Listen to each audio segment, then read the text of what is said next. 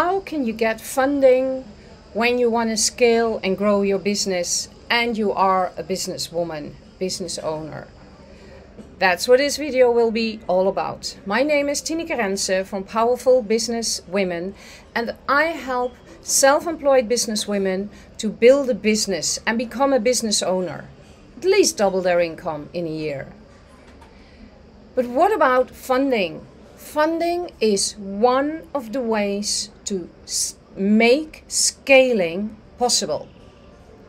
So, for example, you need money because you might want to automate, or because you might uh, need a big marketing campaign, or because you might need to employ people, or you might want to buy a business. There can be various, various reasons why you would want funding. Um, and how do you know that you need funding? Well, the situations I've just explained, they will occur. It's not about when you don't have enough money to pay the bills.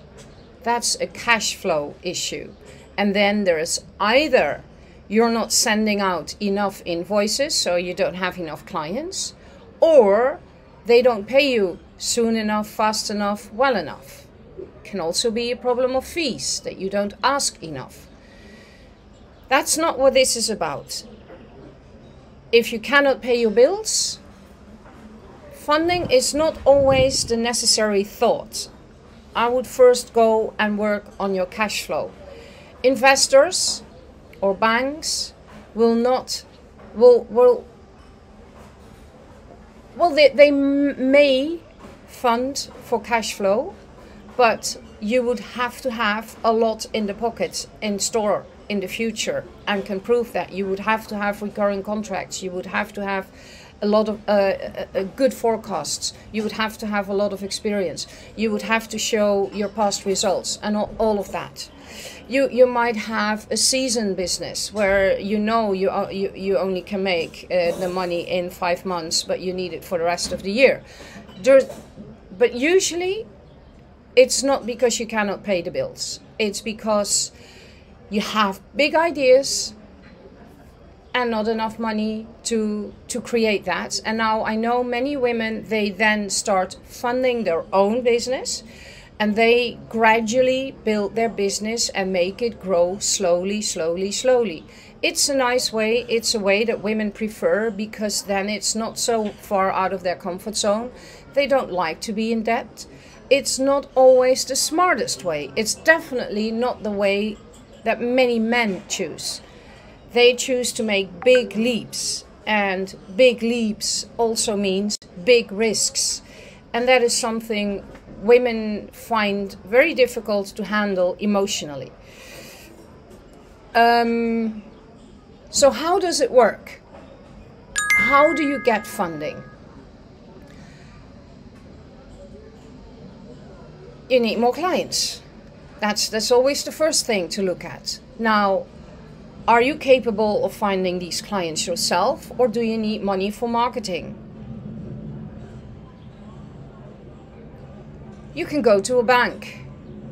But I can tell you, since the financial crisis started in 2008, banks have withdrawn their responsibility to funding business people and something that they're not communicating, but they usually don't like funding anymore when it's beneath 1 million. Because their their costs of analyzing and paperwork and contracts and all, all, all and time is so time consuming and it costs them so much money that they're not going to make money if they do lo um, loans lower or credits which, which are lower um, you can do crowdfunding. Crowdfunding is, is not not so much control you have. You're not talking to a person. You create your prospect, you create your video, you choose the platform, and then and, and, and you can promote it in your social media and in your email, but that's all you can do. There's nobody you, you, you it's it's online convincing. And if you're good at that, perfect. Um, you can go to an investor.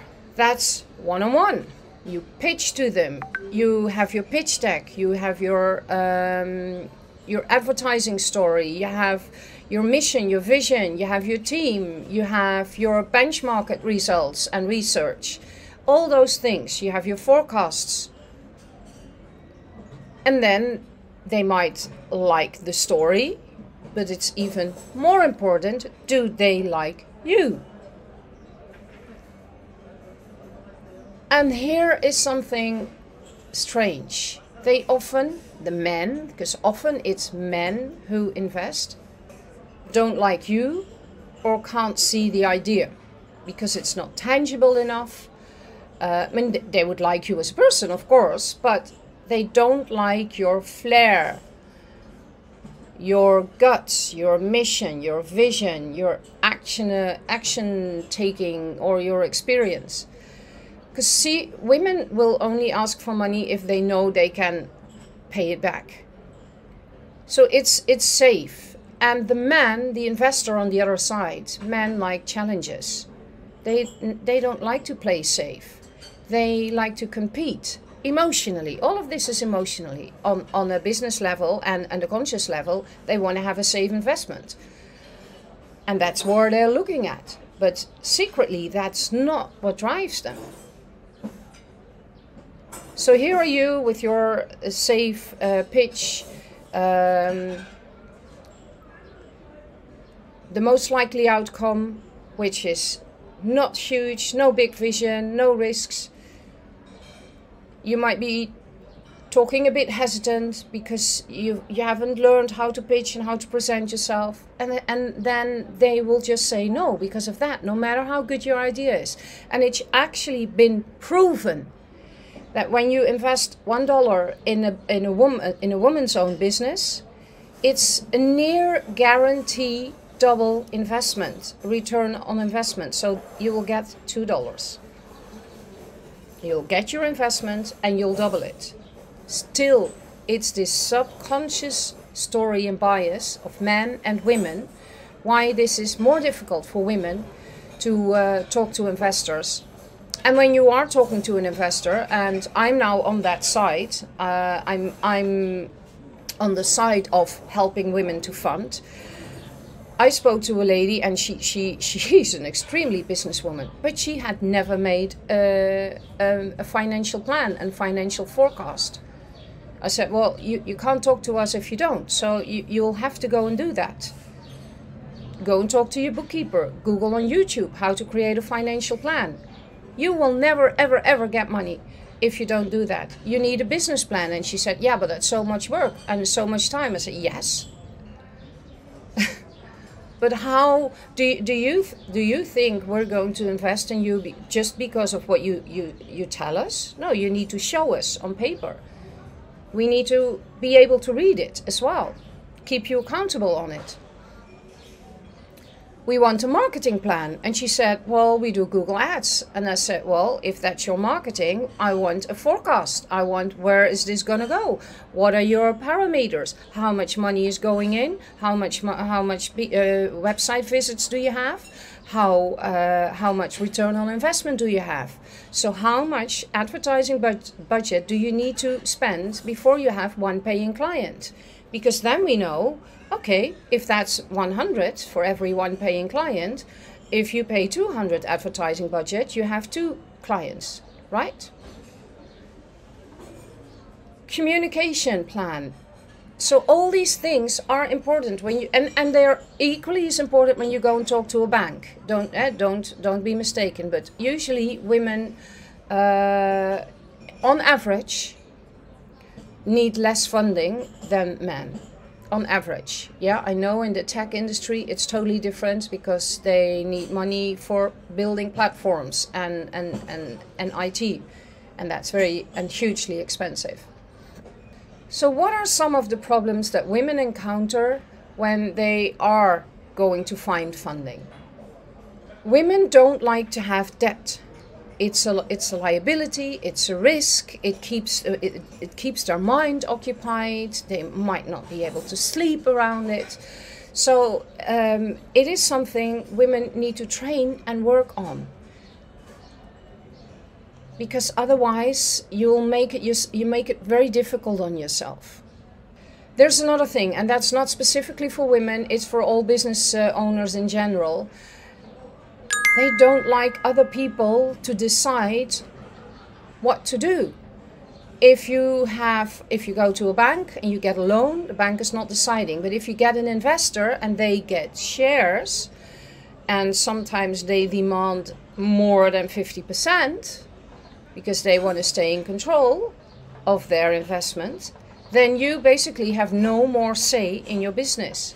And i can understand that they don't want that business people it's a creepy idea your idea, your business, something you've been working on, and somebody else gets to say.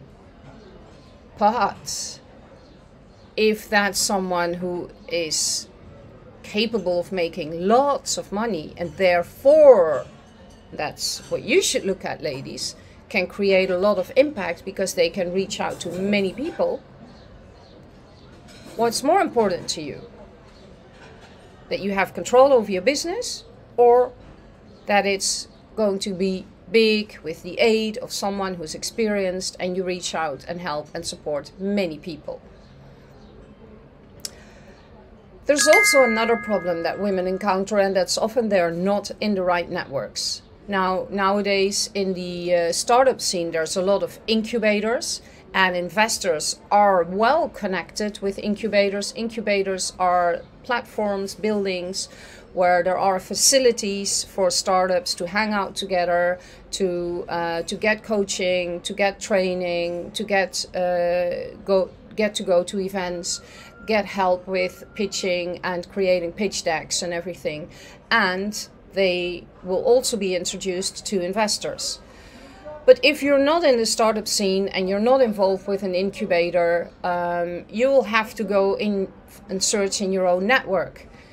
And often women don't have the right connections to on general usually the, the white male with a lot of money. And then there's another thing many women lack the masculine attitude. You don't have to be a man to be masculine masculinity certainly helps scaling and growing your business certainly helps when you want to find funding for your business.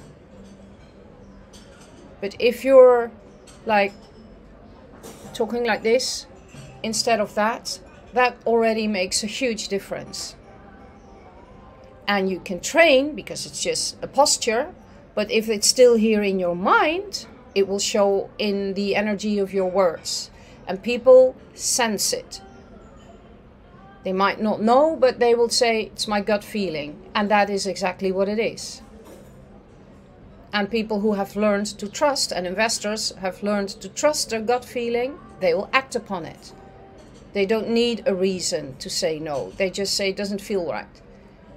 So, what's my involvement in this? I'm the chair of She Credit. It's a Dutch national organization where we help our members, which are 50% female owned businesses, to find funding amongst our other members. So you can become a member if you want to finance, and you can become a member if you are looking for funding. And we bring those together, those two together.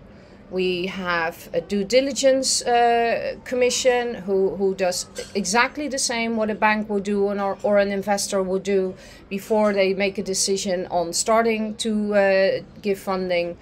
We provide coaching for the for the woman, uh, so it's a pretty safe investment. It's we're all supporting each other, and She Credit is managing this and facilitating that process. My name is Tineke Rensen. I'm from Powerful Business Academy and I help business women to build a business from solopreneur to business owner. And if you feel that you might want to talk to me about something, just schedule a quick 15 minute call. It's free The link is down in the comments or in the post or in the YouTube description. And who knows, we, we might be able to talk soon. For now, bye bye. Next week there will be another exotic video because I will still be on my holiday location in Turkey. Um, so see you next week. Bye bye.